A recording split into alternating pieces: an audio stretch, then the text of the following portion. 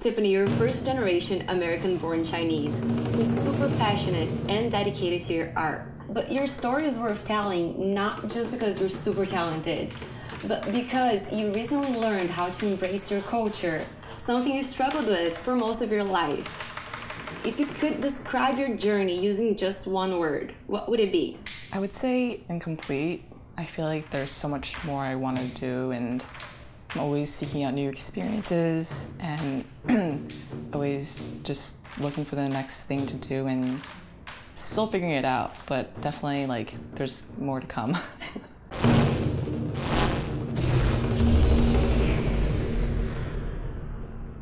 Multi-talented, versatile, and full of energy, New York City-based artist Tiffany Chao is currently highly inspired by the diverse city around her. But it wasn't always that way. Growing up in northern New Jersey in a predominant homogenous Caucasian area, the lack of culture exposure she had growing up was evident. I grew up in northern Jersey and it was like very homogenous, predominantly white suburbia, so there wasn't too much to do. Um, you know, we would just go hiking, a lot of naturey stuff. But in terms of like cultural diversity, there wasn't really much of that. So you weren't exposed to a lot, right? No, not really. Um, like my parents would bring us back to, they're from Taiwan and they would, you know, fly us back when we were younger. So I would be exposed in terms of like their native country, but back where I grew up, there wasn't much of that. And they moved here pretty young as well, in their 20s, right? In their late 20s, early early 20s, they came here for grad school. They met while they're in New York.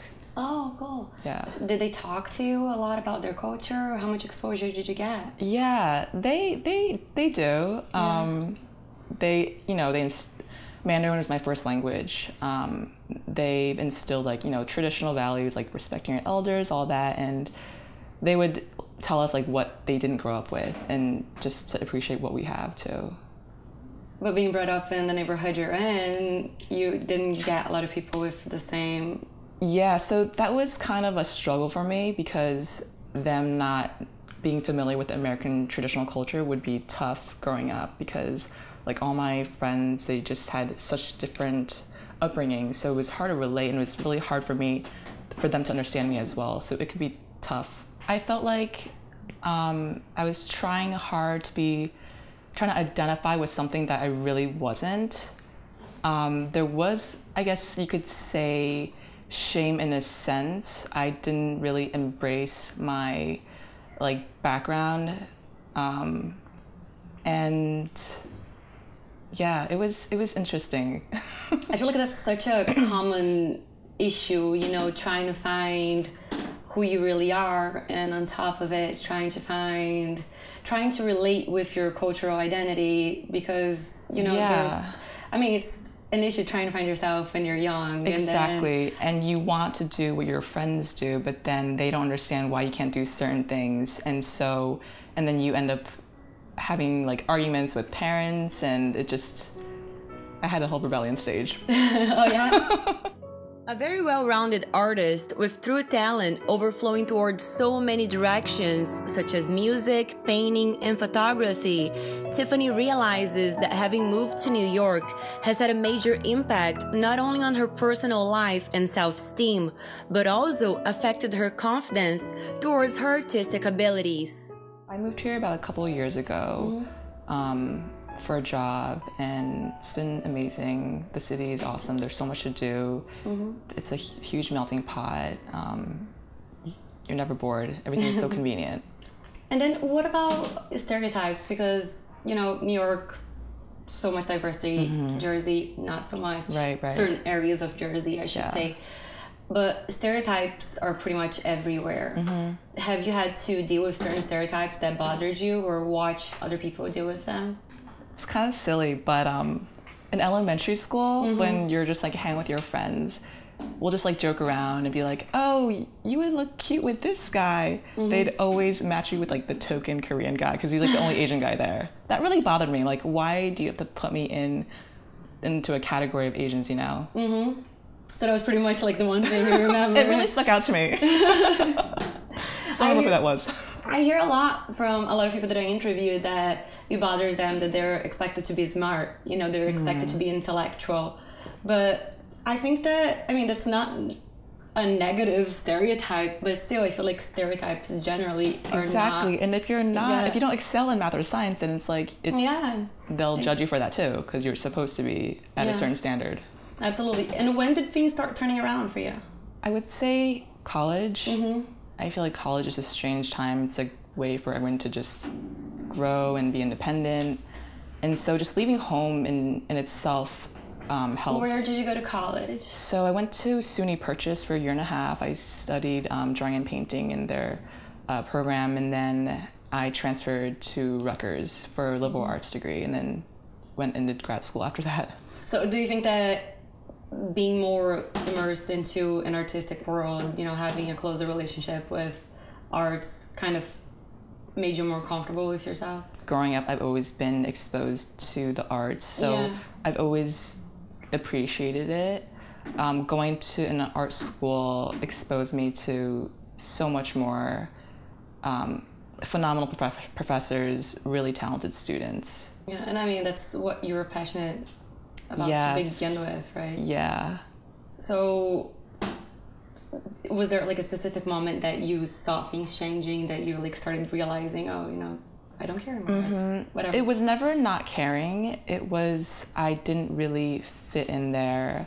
I felt out of place. Mm-hmm. Um, and so, and I also kind of lost confidence in my artis- artistic abilities. And I think this goes back to your- the Asian culture of always comparing yourself to others, because I feel like I wasn't as good, good enough as other people.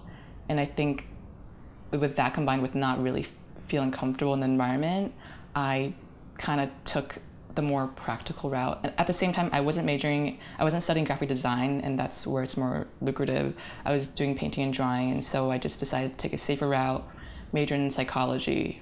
But even with that, and then that's why I transferred and went to Rutgers instead. Mm-hmm. Um, and then even after that, I still wasn't sure what I wanted to do, so I just kind of I just went to grad school and did my dual masters.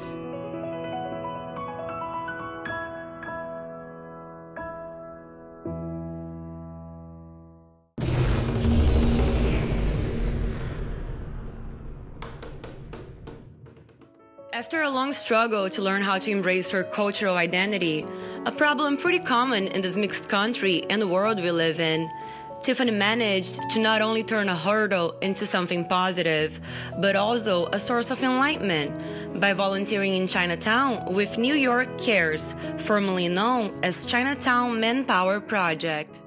I wanted to be involved and give back and just immerse myself.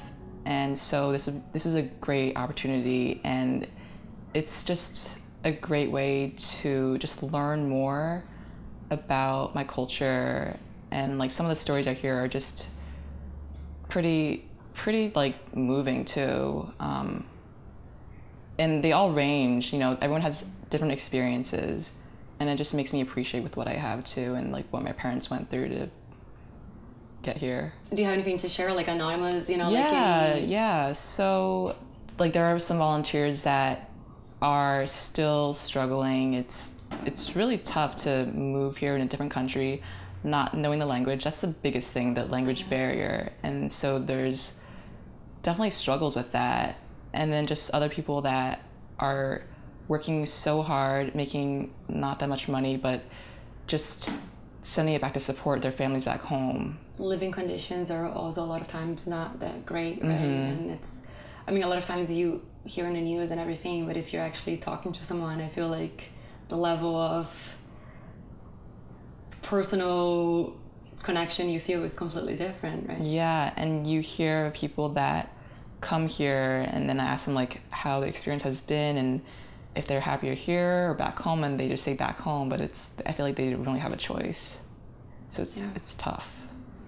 And I mean, a lot of people that I have met at least feel a sense of gratitude that a lot of times people here take for granted because everyone here has For sure. you know they've had everything ever since they can remember and mm-hmm. when you don't have something then you put things in perspective Totally, yeah.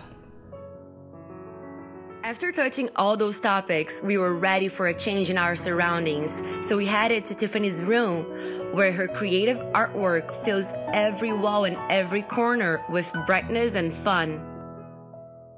You like to draw, you like to take pictures, to write music, to play instruments, and to paint, and the list goes on. What about art do you love so much? What speaks to you the loudest? Tell me about everything. How did it all start? it started when I was really young. My um, mom had me sign up for art classes. So I was painting pretty young. Like looking mm-hmm. back, I'm surprised at how young I was when I did it. But I don't remember, remember much of the. Te- it was like a Chinese teacher. I don't remember her teaching really. I just remember like painting. Mm-hmm. But I've always like taken art in elementary school all the way to high school, and I was in studio art for that. And so it's always been a part of my life. So many different forms. Yeah. yeah. So how did you get into so many different things? I think it's just like a way of escapism. It's, you know, with music especially, mm-hmm. um, that is something that I, I can't live without. Just always listen to music when I was young and was just a way to just escape from reality, um, to like re- relax or from angry and just helps with that. And then with with art, I just love creating. I love seeing the final product. They're pretty different forms of expression, though. How do they relate, in your opinion? Yeah, so I feel like um, each medium just fills a different need mm-hmm. in a sense. With music, it's very it's more flexible it's something i can do on the go either listening or just playing mm-hmm. so it's a way to relax and just to like have fun with painting like with fine arts there's a little bit more structure around that it takes a lot of diligence and motivation because just the prep that goes into it too which one would you pick if you had to stick with something? Would it be music because of the yeah. you know Ooh, relaxing tough, aspect right, of it? Right. What would it be? That's a tough one. I I'm not sure if I can pick one. And going back to the creative process, explain to me a little bit how it works. First, where do you get the inspiration? What are some sources of inspiration that you have that you find mm-hmm. in realistic physical terms right. where do you go to find inspiration right. what are some things that you do it comes from many different places first and foremost what's easiest heartbreak obviously you know? um, others right um, others would be just seeing art whether it's in galleries or like street art surrounding myself with people that are really passionate about what they do is also a form of inspiration. I love just speaking, like meeting people that are doing what they or do what they love. Um, I find that very inspiring. Um, also, what else? Just my travels, mm-hmm. like with the horses. That was from traveling to Mexico. Um, I went to a horse, uh, a, farm with a bunch of horses, mm-hmm. and they were just like puppies. They were just so lovable. So I took a million pictures, and that's where I got my inspiration from. I personally love them. They're like just so bright and full of life, like full of fun. Thank you. But at, the same time, you have some stuff that I've seen that it's pretty dark in terms of paintings and even songs, you know. So I can definitely see different. A, a big variety in terms yeah. of what you have. Yeah, I feel like just inspiration comes from all over. So explain it to me a little bit. If you find your inspiration you know you feel something that i mean you come across something that mm-hmm. inspires you how does the creative process go from there you know if you have a medium of choice from right. that point i think once i'm inspired i just like immediately like put it down on paper and just like go right to work mm-hmm. i just do you know it if it's going to turn into a paint or into a yeah. song or like how how does how does it happen? I think that comes first if I want to paint or play music. Do you ever just play without having anything, you know, just play the guitar for instance without having any words down, just yeah, like as a yeah, relaxation. definitely. And it, that's where it comes from too, um, like the creative process. So there's, I wanted to write this song, and I would just. It was actually just me just strumming a few chords, and then I just started like just making up lyrics, and then it just kind of formed into a song.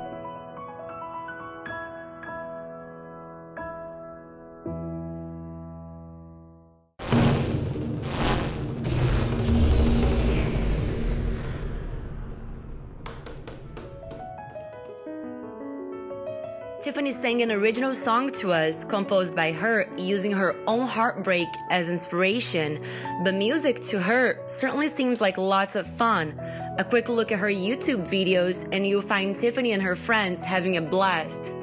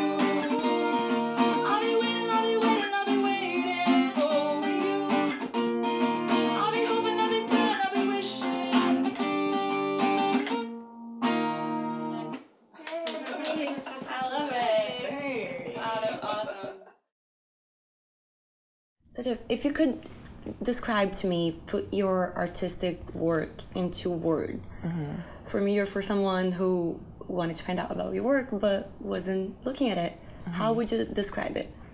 I would say it's very vibrant, lively, fun, a little playful, and I feel like that would vibe most with the horses. Mm-hmm. But I just love bright colors. Just want to be happy. Is that an element that you have to have when you're creating something? Or? Not necessarily, mm-hmm. but I feel like with painting, I really like the the colors aspect.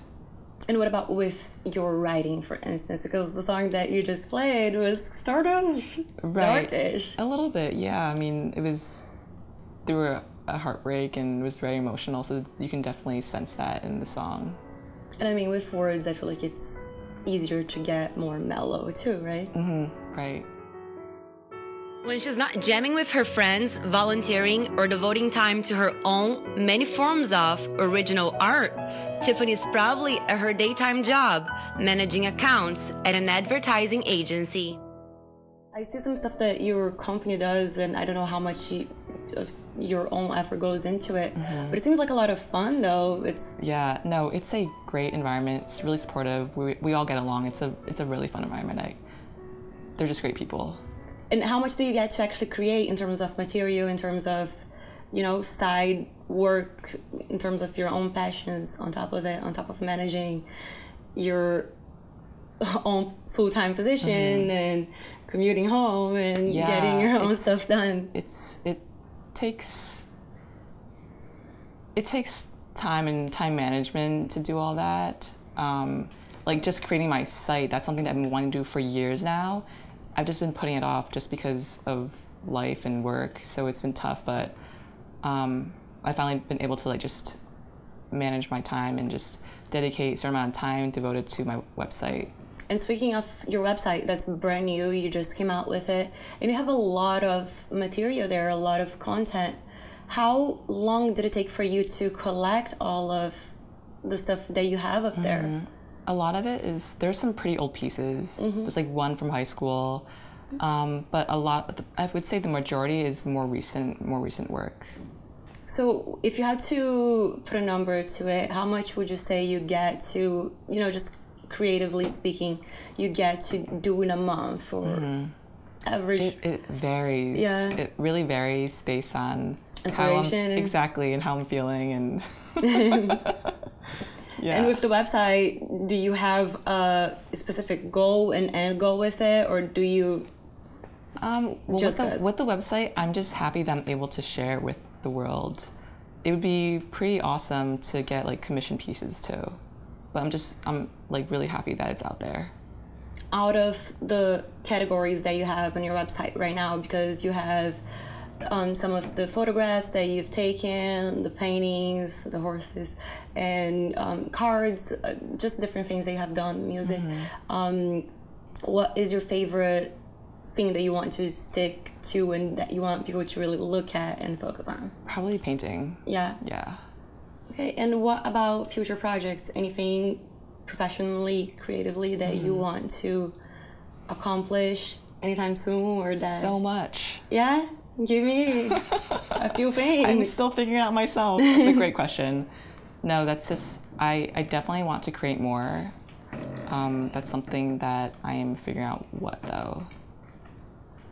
We can still look out for more pictures yeah, and more, more paintings, come, right? Definitely, yeah.